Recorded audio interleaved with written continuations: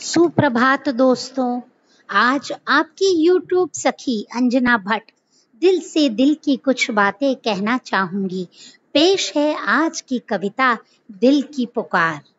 दोस्तों, दिल से दिल की पुकार में बड़ा दम है।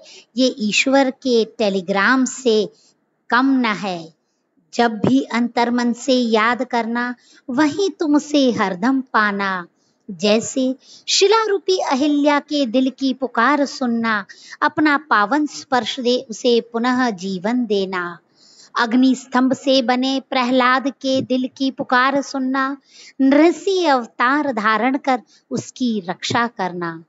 कौरवों की भरी सभा में द्रौपदी के हृदय की करुण पुकार सुनना श्री कृष्ण जी का चीर देकर उनकी लाज की रक्षा करना।